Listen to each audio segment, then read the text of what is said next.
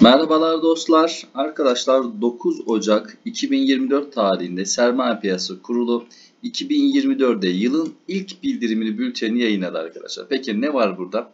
Aslında baktığımız zaman bizim ilk önce aradığımız neydi? Burada hep halka arz var mı yok mu? Halka arz arkadaşlar maalesef yok. Onu özellikle belirtelim. Bunun dışında baktığımız zaman da bedelli ve bedelsiz sermaye arttırımları var. Gözüküyor hemen bakalım. Şimdi e, Metemtur Yatırım Enerji Turizm ve İnşaat arkadaşlar 54 milyon mevcut sermayesini 108 milyon TL'ye çıkaracak bedelli arkadaşlar. Yani küçük yatırımcının çok sevmediği bir durum. %100 bedelli şu anda arkadaşlar. 54 milyona 54 milyon da ekleyip 108 milyon yapıyor.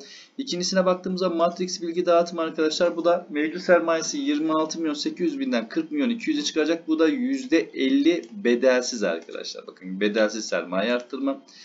Anadolu Sızı Otomotiv Sanayi ve Ticaret AŞ'de mevcut sermayesini 84 milyon liraymış 252 milyona çıkaracak.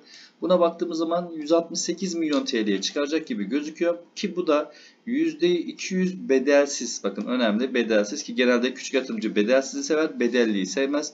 Ve iç girişim sermayesi yatırım ortaklığı arkadaşlar bu da tahsisli sermaye. Yani küçük yatırımcıya hiç dokunmadan direkt adresi belli sermaye artırma. Adam 27 milyon 950 bin TL daha doğrusu 27 milyon 950 bin adet hisse alacak. Karşılığında da iç girişim sermayesi yatırım ortaklığına da arkadaşlar para verecek gözüküyor.